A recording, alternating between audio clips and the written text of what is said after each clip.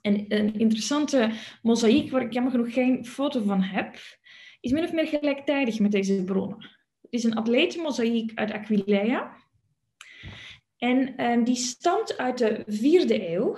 En daar heb je nog wel dat helemaal frontale naakt van de atleten, maar op een paneel dat restauratie nodig had in de vijfde of zesde eeuw na Christus, is het dan bij de restauratie toch maar een lenteschort toegevoegd.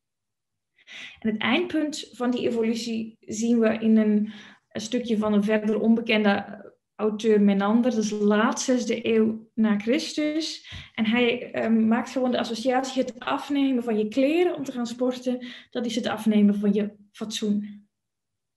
Dus het christendom heeft wel degelijk bijgedragen aan een nieuw perspectief op naaktheid. Maar het is wel belangrijk dat alle expliciete bronnen eigenlijk van na 450 stammen. En atletiek zelf stelt op dat moment nog heel weinig voor. Dus je kan het toch niet zomaar als oorzaak van het, verhaal, uh, van het verval aanwijzen.